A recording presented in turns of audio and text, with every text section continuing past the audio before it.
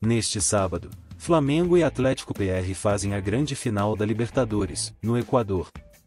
O Flamengo não terá surpresas e vem com força máxima para tentar conquistar o tricampeonato.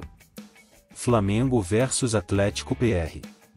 Local Estádio Monumental Isidro Romero Carbo, Guayaquil. Data e hora, 29 de outubro de 2022, às 17 horas Brasília.